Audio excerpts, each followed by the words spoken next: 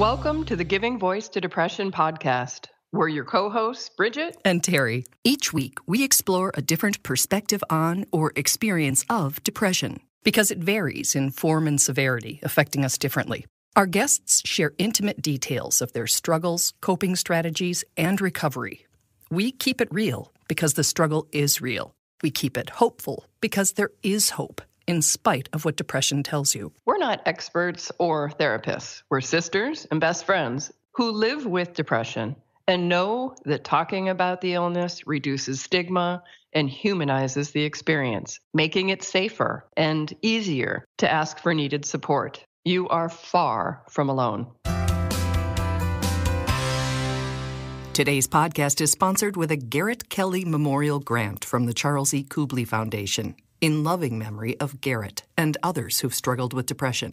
We are solely responsible for podcast content.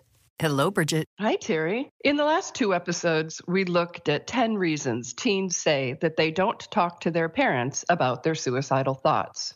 It's a good list, but not just for that specific situation, but as a reminder that we can all say and do things, often inadvertently, that shut down healthy communication versus encouraging open, honest interactions. Absolutely. And we realized that we only addressed half of the equation. If yeah. teens don't tell their parents, that means they're telling each other instead. And that's a hell of a heavy burden for another young person. Yeah, it's a hell of a heavy burden for any person, especially a young person. Yeah. Today, we wrap up our interview with Dr. Stacey Freedenthal, and we meet a school district psychologist in Wisconsin who oversees a mental health effort that is giving the students all the tools that they need to be able to say what they need to say and to be good listeners. Absolutely. All the tools we were not provided when we were grown exactly. up. Exactly. Exactly. There's a saying in the suicide prevention community that's both really harsh and really true. It's better mad than dead would you rather your friend be mad at you or would you rather that they go forward and and die because they told you they were having suicidal thoughts and and no adult knew who could help them?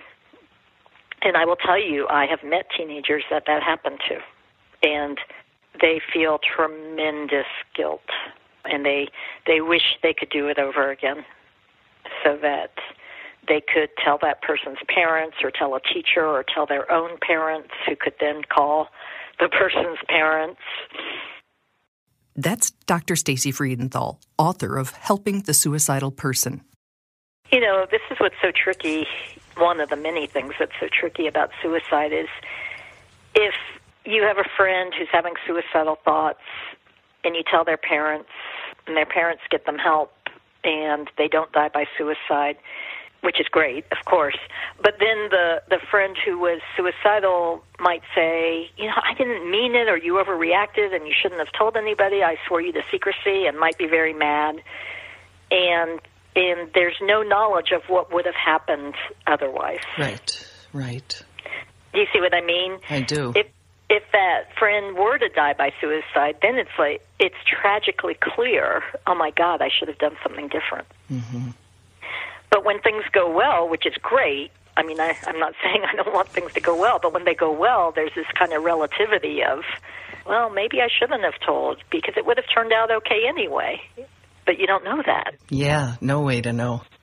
Ugh. And, and is is the swearing to secrecy pretty much standard? It's very common that a a teen tells their friend not to tell anybody, or B that the person tells somebody and then the friend is furious and never talks to that person again. Mm-hmm.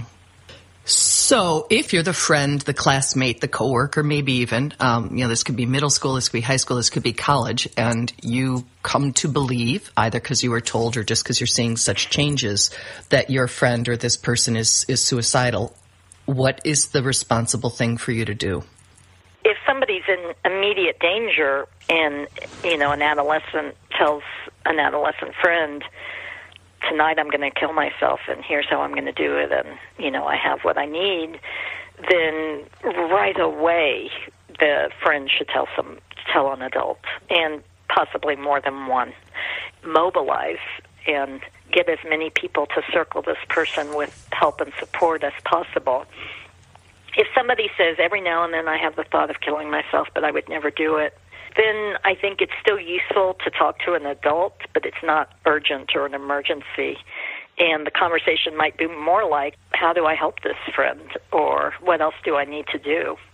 But an adolescent shouldn't be alone in that situation. They, they need support from somebody who is equipped to support them.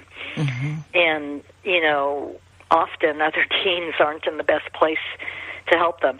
Now, when I say an adolescent shouldn't be alone in that situation, I was talking about the adolescent who has a friend who's suicidal, but it applies to that person too. Sure. You know, it applies to both. So, moving from theory to practice, meet Dr. Jennifer Krzewina. It's her job to see that more than 900 students don't have to be alone in that situation, and that there's intervention before a crisis point is ever reached. My name is Jennifer Krzewina. I am a school psychologist for Menasha Joint School District, and uh, at the beginning of this year, I took on an additional role as mental health coordinator for the district. For almost two decades, that Wisconsin school district has implemented preventative efforts to help with rising mental health concerns, including the Signs of Suicide or SOS screening program. First, the screener is sent home to every family in the uh, middle school and high school. So families are encouraged to go over the screener with their children before we even do the screener here. And the reason we do that is because we want parents to be very aware of what we're doing and to also, um, you know, maybe open up the conversation with their with their child so that they can, you know, learn more about how their child's doing in, in regard to potential depression. We're also trying to develop a mental health framework that addresses um, the younger grades as well. Support staff meets with each and every student who scores at risk or at high risk, and that's about 500 this year, to open up communication about their thoughts and feelings in regard to depression. Their parents are also contacted and informed of community resources. Then our goal is to follow up one more time in the spring with the, each of those students to figure out if that plan has been followed and if they need anything else from us. There are also lessons focusing on giving students the vocabulary, knowledge, and power to have these challenging and difficult conversations. One of the biggest benefits we've seen is that our kids will come report to us if they know of a peer who's who's talking about suicide or, or implying or anything that they feel is a red flag. It's it's amazing that how many you know reports they they are comfortable bringing to us. For example, I may have a student come down and say, My friend posted on social media that she feels like it's not worth it anymore. They may come down because they've heard a comment made in class, and it could be a student they don't even know. We've had that before, hmm. but they're just concerned and want to, to let us know. Um, they they might come down about their best friend and they don't know how to talk directly to their best friend but they know that they need to report the information to a trusted adult. That's a big responsibility for kids. Mhm mhm they do it though. That's amazing and it's i think it's a direct result of being taught how to do it and that it's okay to do it and that the adult you tell isn't going to say get back to class or whatever. Right right. It's been it's been normalized for them. You know, since sixth grade, they've been hearing the message that this is what we do, this is what you do, and it's simple. You can remain confidential, but do it because you care about other people and because it's important in saving lives, and they do it. Part of the message these students have been hearing is that the warning signs they might see or hear vary one of the good things is that they've learned that it's not always a, a, comment that uses the specific words related to death. It could be a comment, I'm done with this. But they, they just want to make sure that it's nothing more serious. So even if it's not um, directly using the language, they still are concerned enough to bring it to our attention. Wow. And we follow up with those students and parents and, and guardians. What's the family reaction? Do parents buy into this pretty much, or are they? Do you get the you know keep our business private? This is a family matter sort of pushback. What we've learned over the years is that we've really gotten parents involved from the beginning. that letter and that screener prepares them for whatever phone call they may receive. So when we call, it's not a, oh, you're doing what? You know, they already know and are aware of what we're doing. Mm-hmm. And some have been aware that this has been going on since sixth grade. Mm-hmm. You know, so, you know, so it's most of the time our the response is thank you for calling, thank you for taking the time to talk to my student. Can you check in with him or her again? Um, yes, I will. Um, I'm going to call a local agency right away. Most of the time, it's that response. Hmm. To be clear, the school district's efforts go far beyond suicide prevention. Overall mental health, resilience, and other program goals will benefit these students for life.